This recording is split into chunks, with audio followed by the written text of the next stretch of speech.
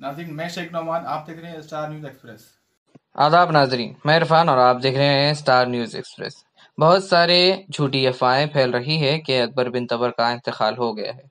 पर हम अभी हमने उनके भाई से बात किया है और ये मालूम किया है कि उनकी तबीयत अभी ठीक हो रही है और इनका इंतकाल नहीं हुआ है। और आप सब आवाम से गुजारिश है कि आप इन झूठी अफवाहों में ना फंसे।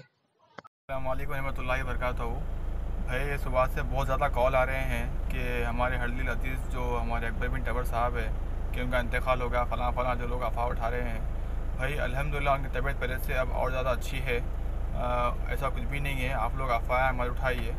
क्योंकि अभी हमारे जो शाहनवाज साहब शाहनवाज जो साहब है जो अभी बात कर हैं अकबर बिन टबर साहब के फ़ोन पर। भाई अलैक्म रहमतुल्लाहि वरकatuh अल्हम्दुलिल्लाह तबर भाई की तबीयत ठीक है? वो अच्छे हैं केयर हॉस्पिटल में हैं अभी। मैं उनके फ़ोन पर फ़ोन कर चुका हूँ और उनके भाई से मेरी बात हुई और वो बोले कि तबीयत तो अल्हम्दुलिल्लाह भैया अच्छी है अच्छी है और अच्छी तब्दीली हो रही बोल के बोले। तो प्लीज़ आप सबसे गुजारिश है कि ऐसे एफ़ मत उठाइए, बेहतर रहेंगे, उससे अच्छा कि हम उनके लिए हक़ में और दुआ करें ताकि उनको रिकवर और जल्दी हो सके। तो मेरी अदबन गुजारिश है आप सबसे उनके लिए दुआ करिए। फिर हम सबके बीच में तबर भाई आए। मेरे से उनका बहुत पुराना दोस्ताना है दस पंद्रह साल से मैं तबर भाई बहुत ख़ास दोस्त थे।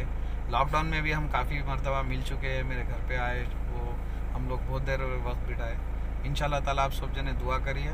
ऐसे टाइम पे, ऐसे वक्त पे, ऐसा गलत बात बोलना किसी को भी हर्ट होता। आप लोग बेहतर है कि उनके हक़ के लिए दुआ करिए। खुदा हाफ़